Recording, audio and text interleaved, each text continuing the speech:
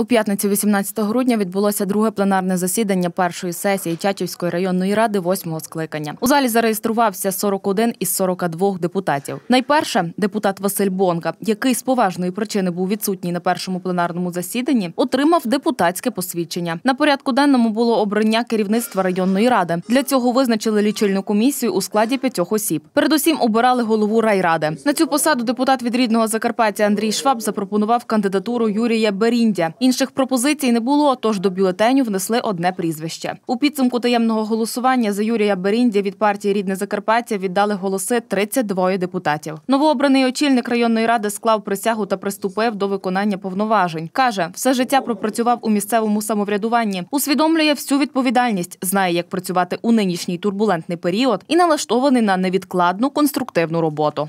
Я думаю, що ми все зробимо для того, щоб Тячівщина процвітала. І ми показали, що дійсно вміємо, хочемо робити. І саме головне, що ми це маємо робити спільно. Голова районної ради наголосив, основним завданням вважає зробити все можливе для того, щоб у результаті реформи владної системи люди не страждали від недосконалостей законодавства. Я всю життя працюю в місцевому самоврядуванні. Я працював останні роки сільським головою села Біла Церква, яка ви тепер знаєте, що по по реформі адміністративної перейшла від Раховського району до Тячівського. Ну, оскільки я завжди був на межі цих двох районів, то я спілкувався з багатьма сільськими головами Тячівського району. Головне, що ті знання, які я маю, думаю, що дозволять зразу зразу перейти до конкретної роботи, бо на наші рішення вже давно чекають. Ми трохи при як кажуть. Запізнилися з сформуванням коаліції, обранням головою. Нам потрібно сісти за столом з головами ОТГ, бо ми знаємо, що згідно законодавства, то вони тепер сама головна ланка.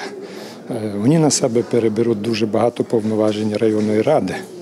І оце передача цих повноважень, оце якраз і буде на перших порах сама, сама така дуже дуже тяжка робота.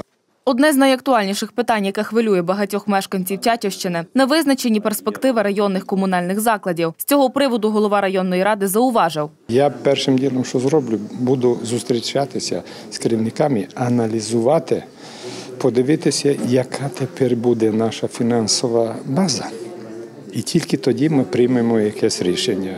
Сказати наперед, що все буде добре, а потім не буде фінансування, це тільки вести людей в оману. Відтак, знову ж таки таємним голосуванням обрали двох заступників голови районної ради. Ними стали депутати Михайло Вурста від політсили Слуга народу та Дмитро Буга від Європейської солідарності. Новообрані заступники також склали присягу. Оскільки на порядок денний першої сесії винесені невідкладні питання стосовно змін до районного бюджету на 2020 та затвердження бюджету на 2021 рік, найближчим часом вирішили провести третє пленарне засідання та за потреби продовжити.